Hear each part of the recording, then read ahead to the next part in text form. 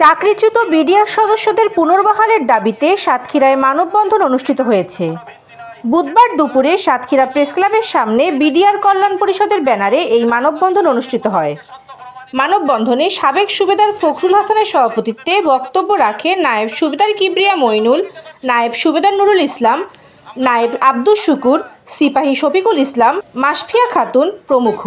বক্তারা বলেন দু হাজার নয় সালের পঁচিশ ও ছাব্বিশ ফেব্রুয়ারি পরিকল্পিতভাবে সাতান্ন জন সেনা কর্মকর্তা সহ চুয়াত্তর জন বিডিআর সদস্যকে হত্যা করা হয়েছে। পরে প্রহসনমূলক বিচারে আঠারো হাজারেরও বেশি বিডিআর সদস্যকে জেল জরিমানা সহ চাকরিচ্যুত করা হয়েছে। দীর্ঘ পনেরো বছর ন্যায় বিচার থেকে বঞ্চিত হওয়ার অভিযোগ করে তারা বলেন, সুষ্ঠু তদন্তের মাধ্যমে প্রকৃত অপরাধীদের বিচার নিশ্চিত করতে হবে। যারা নিরাপরাধ, তাদের মুক্তিসহ পুনরায় চাকরিতে বহাল করতে হবে।